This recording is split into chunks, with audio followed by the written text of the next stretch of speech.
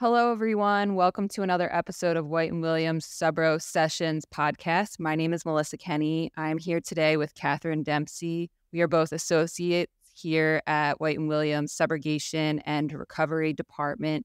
We are very excited for today's episode. We have a very special guest. Her name is Miss Rachael Klein. She is a senior fire investigator from EFI Global. Both Katherine and I have worked with Rachael on several fire losses Rachael brings a wealth of knowledge, training, and experience to fire origin and cause investigation. We're really excited about today's episode. It's going to be both personal and informative. Rachael's going to tell us about her upbringing and how that played a role in her decision to become a fire investigator. Then we're going to talk about fire scene investigations and more specifically getting control of the scene and ensuring evidence is preserved timely. So let's get into it. Hi, Rachael. This is Katherine. Thank you for being here today. Hello, hello. Thanks for inviting me. So, Rachael, why don't you tell us a little bit what made you become a senior fire investigator? Um, so it actually started at an early age. Um, basically, I grew up in the fire service. Um, I was brought in, you know, through family. My, my grandfather was in the fire service. My dad was in the fire service. He was actually fire chief. Um, I honestly remember going in the back of his truck to certain fire scenes because um, you could do that in a very rural area. Um, so I basically grew up in it. And, you know, my mother was in it, aunts, uncles. So pretty much anytime we did fundraisers, it was pretty much a whole family event where everybody was there. So for me, growing up that way was the norm. I didn't really know anything different. Um, so that was basically how my love for it really started. And I just never left. um, once you catch that firebug, per se, um, that's basically all you want to do. And I loved helping the community. Um, and I love the community that I was in. Um, then at that point is what I wanted to do is I absolutely loved science. Um, so I wanted to expand, you know, the two and, and basically put them together. So, so what I ended up doing was I went to college for an undergrad degree through Binghamton University. Um, it was actually anthropology with a minor in biology. And I do get a lot of people, you know, asking me questions about how the two relate. And, you know, it's actually very similar when we are doing archaeological digs of how we dig out a fire scene in terms of gridding, layering. It's it's very very very similar. Um, and it's what I ended up doing from there was went to University of New Haven. Um, that's in Connecticut. Obtained my master's degree um, in fire science, and then did a certificate in public safety management um, throughout this whole entire time, I was still volunteering. So no matter what state I was in, that was something that I always felt like I had to do, um, give to my community. And I was also taking classes and learning. Um, so even though I was taking, you know, classes for my master's degree, um, I was also taking classes through the state and doing their fire marshal course. So I was doing their course was separated out into fire investigations and then codes. Um, so I was taking that while going to school. Um, as soon as I finished school, um, that's when I started taking up the certifications, um, like getting your CFEI through NAFI, um, and then basically kind of progressing to the point where I was like, okay, I'm ready for a job. Um, so that's when I applied to Unified Investigations, um, is what the name of it was at the time. Um, ended up going to Baltimore where they said, hey, we needed an evidence tech. So I started out actually as being a part time fire investigator, part time evidence tech which for me was great in terms of getting exposure in the field um, with other fire investigators. So I would basically go to them um, to their scenes and do their evidence collection. So they definitely taught me well in terms of, hey, this is what you need to do while you're at a scene. Um, but then I was responsible for doing all the evidence in terms of documenting, collecting, make sure the chain of custody was correct. Um, so I definitely think that helped me in terms of where I'm at now because um, I'm very, very detailed and thorough on that because that's where I started um, in the company. Um, since then, I've progressed in terms of doing, you know, fair scenes, large losses, um, obtained more certifications. Um, so I have been taking classes in terms of doing marine uh, classes, vehicles. I did obtain, you know, my III CFI. Um, so I've definitely tried to expand, you know, my my horizons and start specializing in things. So I actually did two in Vermont, a, a chimney and fireplace class. And everything I'm going to spend six days, you know, learning about chimneys and fireplaces. No, but why I love this job. um, because you're always learning. And for me, um, that's what kind of made it easy to to stay with the company, stay with this job, and continue as a senior fire investigator, um, basically gaining these certifications um, in order to do that. I absolutely love what I do, and I feel like that has, like I said, made me progress to be a senior fire investigator. Well, that's awesome. And, you know, thank you for sharing and for all the volunteer work you've done. That's um, certainly not an easy task. And it's clear that you have a passion for what you do. And I think that is part of what makes you so enjoyable to work with. So thank you for that. Oh, thanks. Yeah, no, I still love hopping on the engine every now and then. And, you know, I, that's, I mean, I love doing that with the community, the fundraisers. Like, it's, it's great. It's great. Yeah. So, Rachael, in terms of evidence collection and pre- preserving a site of loss, can you walk us through a little bit about what you do at these loss sites? Of course. So, um, you know, every fire investigator, we kind of have a couple rule books per se that we follow. So, all of our information um, that per se makes me a fire investigator and what I do is going to be an NFPA 1033. But per se, the way that I do the investigations, that's through our guideline of NFPA 921. Um, so just kind of give you guys a brief idea of some of the things that I'm looking for um, at a loss site or doing at a loss site when I get there. Um, obviously, the main thing I want to do is look for my fire effects and my fire patterns to get me back to my area of origin. It's very critical for us to get to our area of origin first um, before we can even begin to consider causation um, and look for possible causes. So it's very important for me to be able to, uh, per se, analyze those fire effects and those fire patterns to get me back to that area of origin. Um, so while I'm there, um, you know, I'm obviously going to be doing sketches. I'm going to be doing diagrams, measurements. Um, usually I do neighborhood canvases. Um, absolutely love the fact that everybody has cameras, ring doorbells. So that's very critical um, for some of the things that we do. Um, I know sometimes it looks ridiculous when we're running around door to door, putting business cards, saying, wait, call me.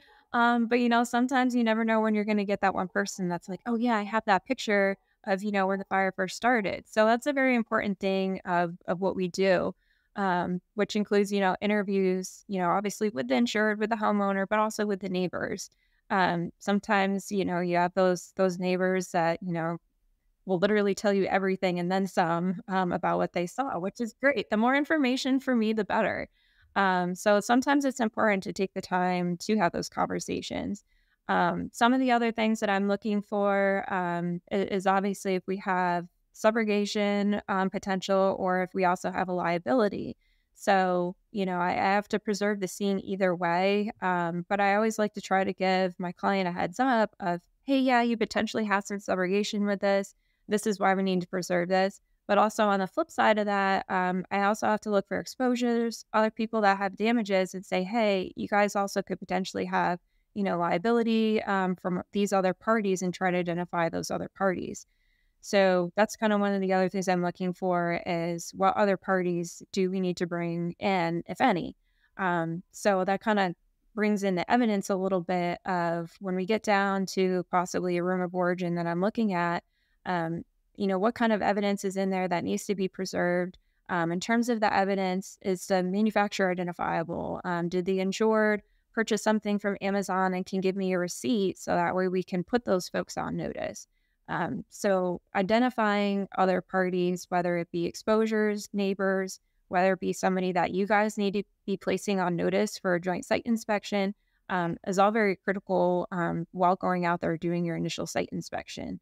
Um, the point of you know me going out there for that initial site inspection is definitely get the boots on the ground and get that information to you guys thanks rachael and and so with all of that in mind we we all know that time is of the essence with these fire scene investigations so once you get out there what steps are you taking before you leave the scene um, to make sure that it's secure to make sure that any evidence um, that could possibly go quote unquote missing is secure and preserved can you tell us a little bit about that Sure. So I mean, we've got a couple different things that we can do. It kind of depends on the circumstances and the situation and also where I'm at. So, I mean, in terms of areas that I cover, you know, some of it's Baltimore City. Um, things do disappear. Um, same, you know, sometimes with DC, sometimes going into Philly, um, where we have a tendency if something's left outside, it's not going to be there anymore.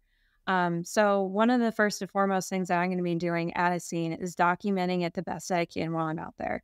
Um, that includes especially the the sketches, the diagrams, photographs. Um, one of the other things that's kind of a, a newer, um, you know, technology is doing the Matterports and the drones. Um, so for me, I feel like those those are super important um, because one, I can send you know the links to you guys, and you guys can basically walk through the fire scene and see it how I did. Um, and sometimes the drone footage is fantastic when you have a commercial loss site, um, and basically you can document the entirety of the building from the top. I get it, some areas you have no fly zones, and you're kind of out of luck with that. Um, but to be able to document it the best you can um, prior to things being moved is absolutely critical because every now and then you get that homeowner that's just so antsy to get started, or you have, you know, the commercial property owner that somehow he has a bulldozer. Um, so you want to make sure that you document it the best that you can because you can always tell them, hey, you know, try not to touch this, but um, you know, sometimes that just doesn't, you know, happen. And the best way to, you know, go about that is is to preserve and document the best that we can. So some of the other things that we do um, include, you know, just caution tape, but I always say tape is only for honest people. you can always lift it and go underneath of it. So there are plenty of times where, you know, we'll, we'll put what we call placards or signage up um, saying, hey, this is under investigation. Don't touch it. This is evidence. Um, and it, it's kind of funny. I do have a little bit of a reputation where people know when I'm there because, like, I will literally put tape everywhere. I put signs everywhere. Like, I put them on front doors in the house. It doesn't matter. Like, I want to make it obvious of what I'm trying to preserve um, to anybody. Um, and that way, too, sometimes those placards, you know, I put my name and number on those. So sometimes you have an adjuster show up from, say, another property and they'll see the sign and they end up giving me a phone call saying, hey, you know, we have an exposure or we have this. So that kind of also helps get people on the same page um, by putting up those placards. Um, every now and then with the really large losses um, or where if we knock out, you know, a couple townhomes type of deal because of a fire um, or commercial structure, there are times when I do have to request about getting a fence. Uh, just, you know, we do have debris and stuff that goes outside or something along the lines of an explosion because um, we want to try to preserve it as much as we can. And I, I get it, it's it's very interesting to a lot of people. I mean, to me too. That's why I'm in the field, right? Um, but you know, sometimes putting that fence there is very critical, um, just to try to keep people out um, to preserve the scene as best as we can for joint site inspections. Absolutely. Thanks for giving us all of that information. And with all of that in mind, too, can you give us some tips about what subrogation professionals, maybe subrogation attorneys, or even first party claim adjusters can do to assist you early on with your investigation um, when it comes to making sure the site is secure and evidence preserved? Yeah. So, one of the most, I feel like, critical things is trying to get your experts or your boots on the ground out there as soon as possible. Um, sometimes, you know, if we get these losses and I'm like, oh man, it happened three months ago, I go out there and I was like, it's down to the wall studs. Like, what am I going to do with that? So it's really important to get us out as soon as possible, so that way we we are able to put in those measures to try to preserve the scene um, for you know future inspections. Um, and you know sometimes it, it's important to tell the insured to like who we are and what we're doing. So sometimes I'll show up or you know I call the insured and I, I try to explain, hey, this is what I do um, you know, I'd like to come out and meet with you. And then they're like, well, I already had the adjuster come out. And I have to explain, well, you know, I'm not actually the adjuster. I do something different, uh, you know, a different part of the team type of deal. Um, but sometimes having the insured hear that from, you know, their adjuster or from their insurance carrier puts them a little bit more at ease of like, hey, why is this person contacting me? Because you have to understand too, like when these folks go through these losses, a lot of people are contacting them and sometimes it's difficult and you know confusing for them of hey who am i actually supposed to be talking with who am i supposed to be letting in my property because um, sometimes like i said you do get exposures and other fire investigators are contacting them or you know public adjusters are contacting them and it's overwhelming for them. So sometimes it's nice um, you know for the adjuster just explain hey this is your person to talk to. Like this is your fire investigator to communicate with. It's okay to talk with them. Um, and once we usually kind of establish that, it goes much smoother um, in terms of information flow. Um, so just you know, getting us out there as soon as possible and letting your insured know or whoever we're meeting with that hey, you know, we're you know the fire investigator for you guys, um, and to basically explain what we're doing, so that way there's no confusion on their end. Yeah, absolutely. Time is of the essence, and communication is key with the subrogation fire investigation. That is for sure. Thanks so much, Rachael. I'm going to turn it over to Katherine, who's going to end our interview with you with a few more questions. Hi, Rachael. So, I would like to know what is your favorite part of being a senior fire investigator? I'd say I don't have one, I have two. so, well, you know, maybe maybe like three. So the the thing is, is I absolutely love the people I get to work with and the people I get to meet. I get a lot of times I'm meeting these people on like their their worst possible day. You know, they they don't want to see me. You know what I mean? Like I'm not a person they want to see. So you know, when I get to go out there and and talk with them and they tell me their stories, you know, I really enjoy you know hearing that and just being with the people. Um, and the other thing is too is in terms of for me this career, it's I'm always learning. I'm always doing something new. So that's really enjoyable. Um, where it's not the same thing every day for sure. Like it's it's I never know what I'm gonna get. You know, one day I could be, you know, doing a car, I could be doing a boat, I could be doing commercial property, uh, just a kitchen fire. So it, it's kind of nice to have that variety of, hey, it's a very spontaneous type of job, and I never know what I'm going to be doing, who I'm going to run into. Um, and that's that's what keeps things interesting and, and the fact that I do get to meet all these people. I'm always learning from them. Same with like the engineers when I do joint site inspections and lab exams. Like I'm constantly learning from from other people and and their knowledge. So it's nice to be able to have that kind of community where we can basically spread all that knowledge around and it's it's wonderful to be honest. I love it. That's awesome. And it's again so clear your passion for what you do. And I think that, you know, Melissa and I have both worked with you and know that from firsthand experience, you go the extra mile and, you know, help make our job easier, make everyone who's involved their job easier. And so we would just like to thank you for that. And uh, thank you for sharing all of your wealth of knowledge and um, we, you know, certainly look forward to working with you again in the future and highly recommend Rachael Klein of EFI Global to anyone who's looking for a senior fire investigator who is passionate about what they do and goes the extra mile. So thank you, Rachael, and uh, thank you for taking the time to speak with us this morning and and share your wealth of knowledge. Thank you guys for having me. I appreciate it. All right. Thanks for listening to this episode of Subro Sessions. Be sure to listen to the next episode of Subro Sessions. You can find past episodes of the podcast and relevant case updates on the Subrogation Strategist blog, all available at whiteandwilliams.com.